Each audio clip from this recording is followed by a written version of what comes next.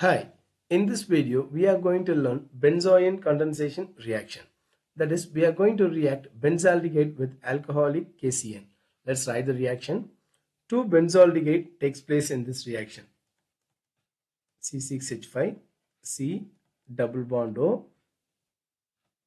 H plus H, C double bond O, C6H5 the reaction takes place in presence of alcoholic KCN that is potassium cyanide on heating.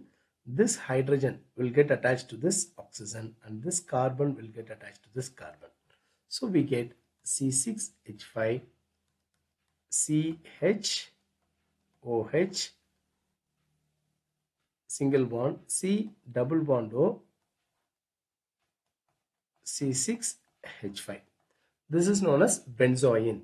The other name of this compound is 2-hydroxy, 2-hydroxy, 1, 2 diphenyl ethanone. Okay, let's write the name for these structures. Benzaldehyde. On heating in presence of alcoholic KCN, KCN we get benzoin. The other name of that is the IUPAC name of this compound is 2-hydroxy because this is considered as a first carbon and this is considered as the second carbon okay? So 2-hydroxy 1 comma 2 diphenyl because in the first carbon one phenyl is attached in the second carbon one more phenyl is attached. So 1 comma 2 diphenyl ethanone.